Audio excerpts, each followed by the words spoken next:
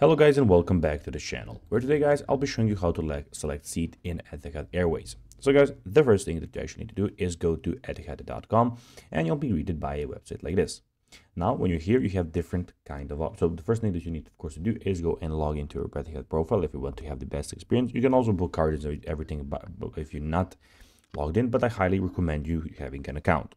So guys, uh, if you do not have one, you can always go to register to Etihad. But if you do not know how to do that, you can always go to our YouTube channel where we have plenty of how to Etihad videos, where you can see Etihad airway videos, where you can see how you can do this. Now, guys, we got that out of the way. Let's see what we actually have in front of us. So here we have the Etihad website, where you have a lot of different options. So here you can see that you can book, so you can book your trips, you can your transfer, travel information, everything is here. You can book your flights, groups, whatever. When you go and manage, you can manage your booking. You have the check-in and extras here. You have the experience on board before you fly and everything that you need to know before you start flying, your destination, where you can go actually on holiday. You can click on help to get help with everything. So this is their support, which can help you with everything, with baggage, uh, baggage with your booking, whatever. You have the ticket guest, you have global, where you can change your uh, country and your language that you prefer. And you can have click on your profile bar here.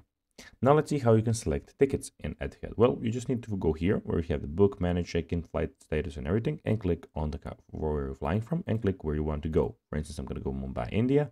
I'm going to select the dates. You have also have to select the dates. When I do that, I just need to go and search for flights.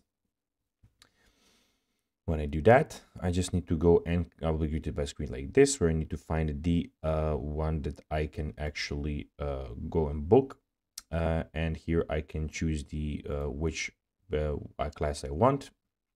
And here when I go, at the moment my credit card is not working, but when you go uh, to checkout, you will be having an option to just find your seats.